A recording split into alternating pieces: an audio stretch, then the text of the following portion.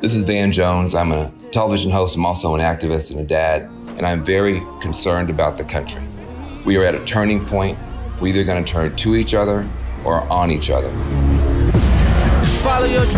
And we need to acknowledge what we're trying to do here in the United States of America is very, very tough. It's hard. You got every kind of human being ever born in one country. As with all hard things, there comes a time when you got to redouble your efforts to listen to each other and make any kind of progress. All right, we're rehearsing sound. Everybody quiet on the set. That's when I decided to begin working with Elijah Allan Blitz on a series of virtual reality experiences designed to create true empathy by putting the viewer in somebody else's shoes. I've always been a fan of Marvel Comics, and I felt like it was important to find superheroes who want to do good in real life. For our first episode, we partnered with Winston Duke from the film Black Panther.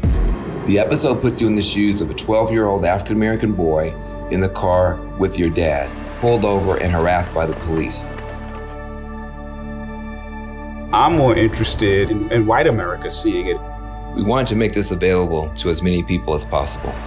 I was a beach cop down in Delaware, uh, so I, I, got the police officer's perspective. Whenever we hear a story like this happens in the news, it's easy to say, you know, at least from my perspective, safety first. Really gives you a really new perspective of sitting in that seat as a kid, watching dad getting pulled out, and you don't know what's going to happen next.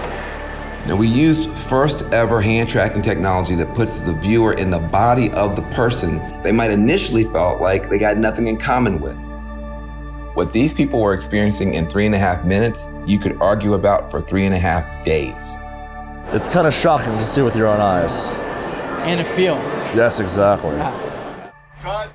For the second episode, we decided to focus on sexual harassment. And to do that, we partnered with Captain Marvel herself, Brie Larson. I wanted to focus specifically on the restaurant industry as a way of insight into a larger systemic issue of power imbalances. Being able to participate in putting someone in that experience of seeing how even microaggressions can be really impactful hurtful and traumatizing to others, I think will help us to create safer, fair work environments for everyone.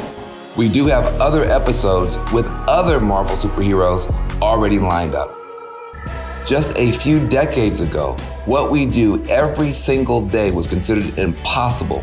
But here we are, a miracle in human history, and we need tools to help us come together. We're always told, like, live in someone else's shoes. There's a difference between living in someone else's shoes and seeing through someone else's eyes. Thank you for your consideration.